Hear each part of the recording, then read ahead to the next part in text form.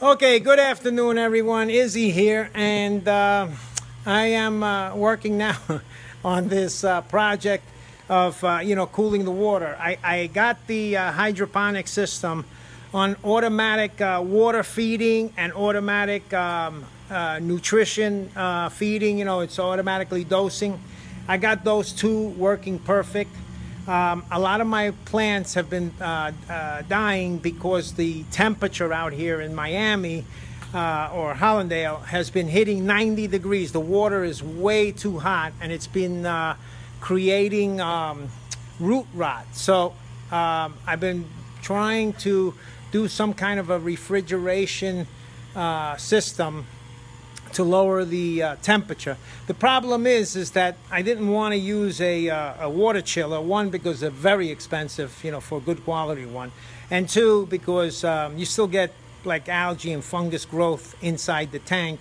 I didn't want to have to deal with having to clean it out and, you know, use harsh chemicals, which of course takes away from the organic side of the, uh, of the, uh, the water. So, you know, I just, I, I, just didn't want to do it that way. So what I did was, um, with no further ado, I'm going to show you guys.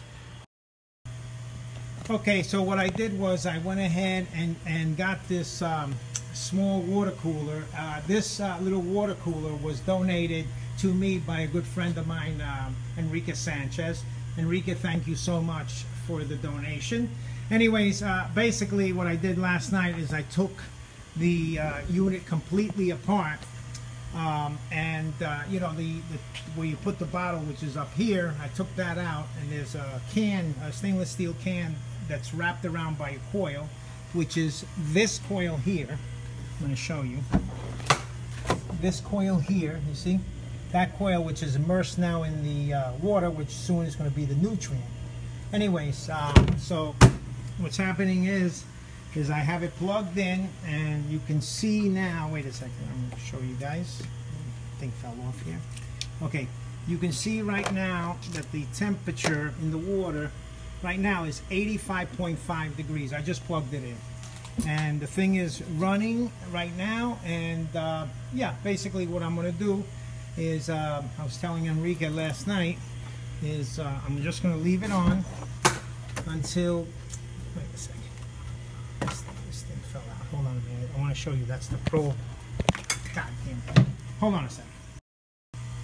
Okay, sorry about that. Uh, anyways, so the probe wasn't stuck in there. So right now, the probe is inside the tank. You can see it's 85 degrees. I'm going to leave it uh, inside the tank.